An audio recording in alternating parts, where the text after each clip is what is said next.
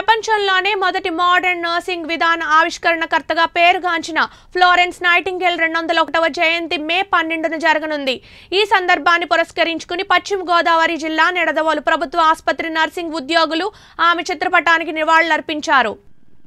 Covid విధుల్లో మరణించిన ఉద్యోగుల కుటుంబాలకు గతంలో వలె యాభై లక్షల బీమా సౌకర్యం కొనసాగించి అమలు చేయాలని అలాగే వారి కుటుంబంలో ఒకరికి శాశ్వత ఉపాధి కల్పించాలని వారు కోరారు. వేతన బకాయిలను వెంటనే చెల్లించాలని సిపిఎస్ రద్దు చేసి ఓపీఎస్ పునరుద్ధరించాలని రాష్ట్ర ప్రభుత్వానికి AP state government contract outsourcing staff నర్సులు యూనియన్ తరఫున విజ్ఞప్తి చేశారు. Mother of nurses founder of nursing professionals Florence Nightingale రెండు వందల ఒకటవ జయంతిని పురస్కరించుకుని ఈ రోజు నిడదవోలు గవర్నమెంట్ హాస్పిటల్ దగ్గర.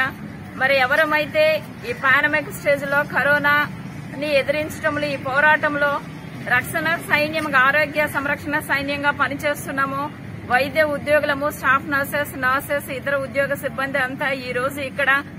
మరి ఫ్లారెన్స్ నైటింగల్ బర్త్డేని జయంతిని పురస్కరించుకుని ఘనంగా నిర్వ- నివాళులు అర్పించడం జరుగుతుంది.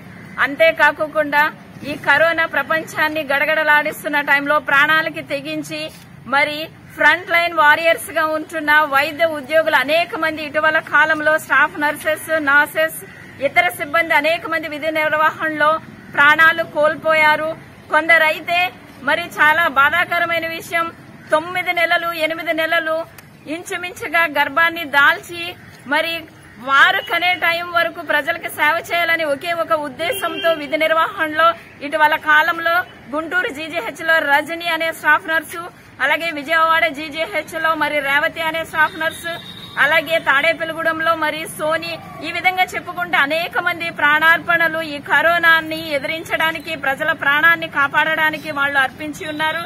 అమరులైన వారందరికీ ఈ రోజు వైద్య సిబ్బందిగా సహోద్యోగులుగా AP state government contract outsourcing staff nurses యూనియన్గా వారికి ఘనమైన నివాళులు అర్పిస్తూ ఉన్నాము.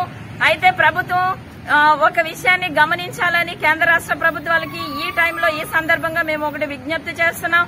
మా ప్రాణాలని ప్రాణంగా పెట్టైన ప్రజల యొక్క ప్రాణాలని కాపాడడానికి మేము ముందుంటామని మేము మరొకసారి తెలియజేస్తూ మేము ఈ పోరాటంలో ఉన్నప్పుడు మాకు సరి అయిన మరి సౌకర్యాలనేవి శానిటైజర్స్ గాని కిట్స్ కానీ లేదంటే మేము పనిచేసే చోట మాకు మా కుటుంబాలకు మరి ఇదే కరోనా వల్ల హాని కలిగినప్పుడు మాకు ప్రత్యేకమైన శ్రద్ధ తీసుకుంటూ మా ఆరోగ్యాలను కాపాడడానికి. అలానే మేము ఎలా అంటే మరి భద్రత లేని ఉద్యోగాన్ని కాంట్రాక్ట్ అవుట్ సోర్సింగ్ మరి ఇలాంటి పద్ధతిలో పనిచేస్తూ భద్రత లేని ఉద్యోగాన్ని జీవితాన్ని మేము జీవిస్తున్నాం. ఇలాంటి టైంలో మేము మరణించిన మరుక్షణము మమ్మల్ని మర్చిపోవడమే తప్ప ప్రభుత్వం నుండి మాకు ఎలాంటి మరి పారితోషికం గాని ఎక్స్గ్రేషియా గాని మా కుటుంబానికి ఒక భరోసా గాని అనేది లేదు.